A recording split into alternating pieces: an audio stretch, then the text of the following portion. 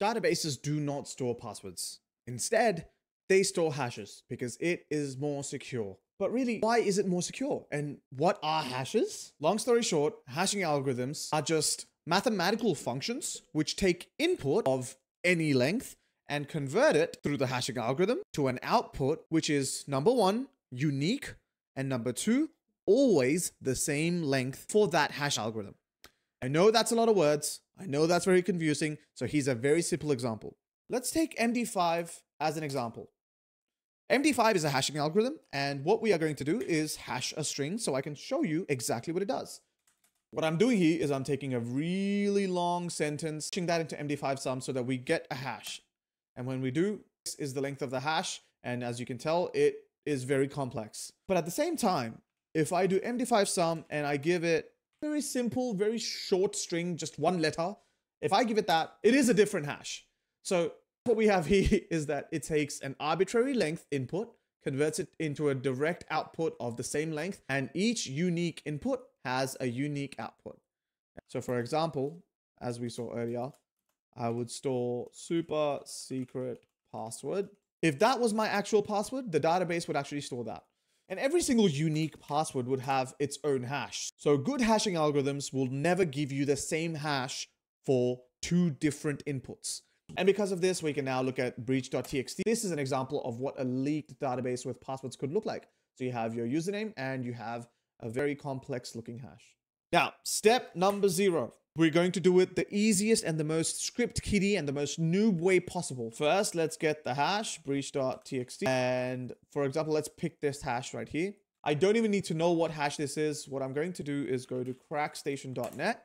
Now, this is an online tool where they already have pre-computed hashes for a bunch of leaked passwords. So this hash has already been calculated. If it exists, we'll know almost instantly because hash lookups are very fast. And boom.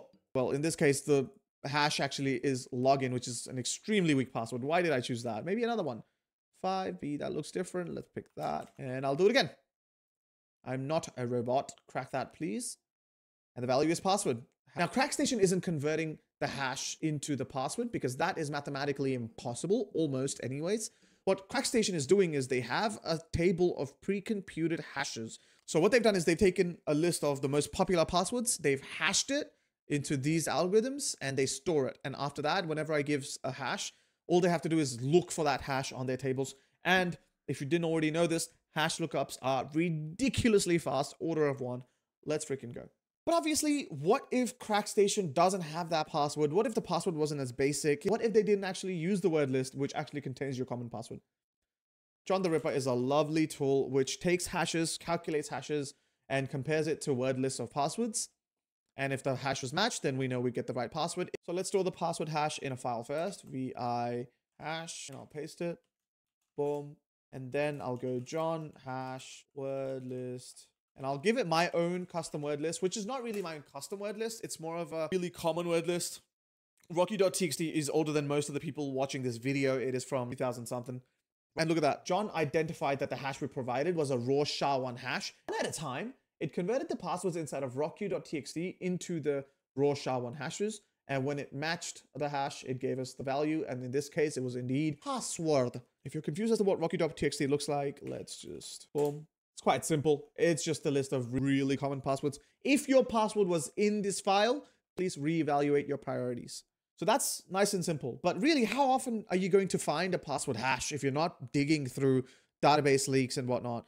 So what I have here is something a lot more relatable. I have a zip file.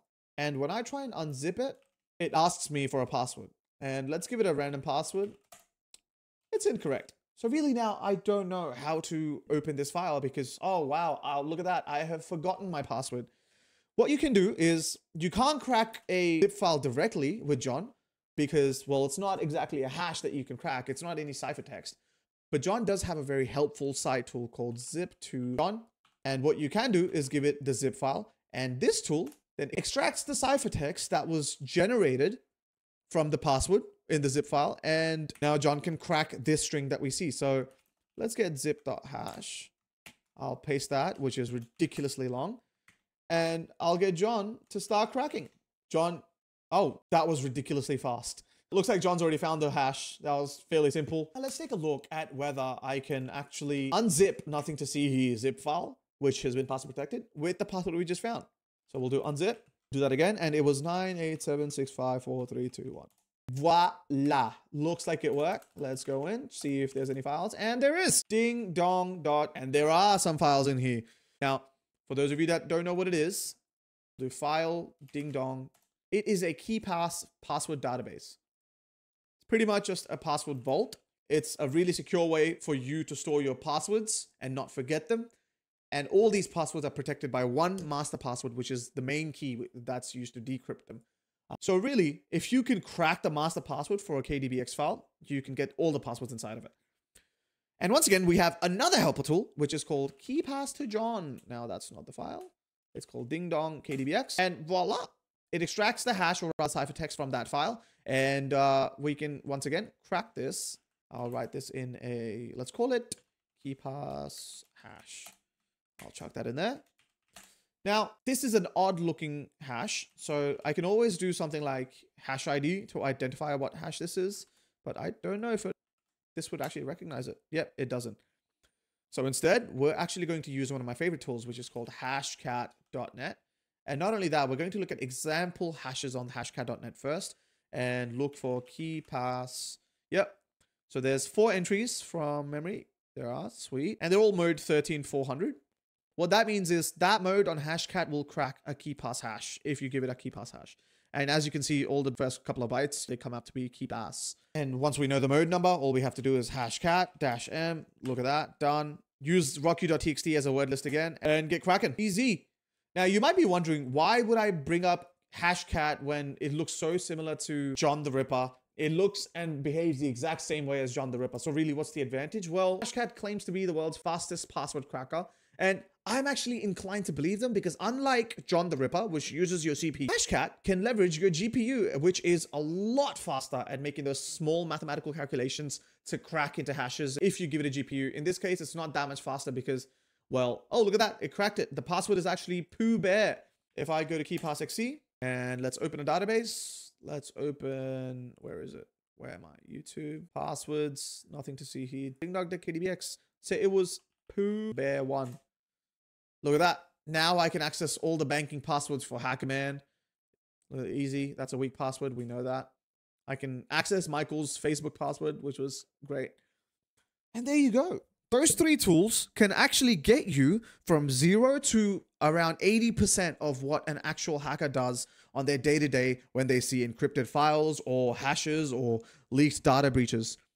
If you want to crack passwords, the only thing you need are those three tools and a rocky.txt but if you want to go a step beyond, then you will need to be able to build your custom word lists based on context, behavioral patterns, and things you know about someone.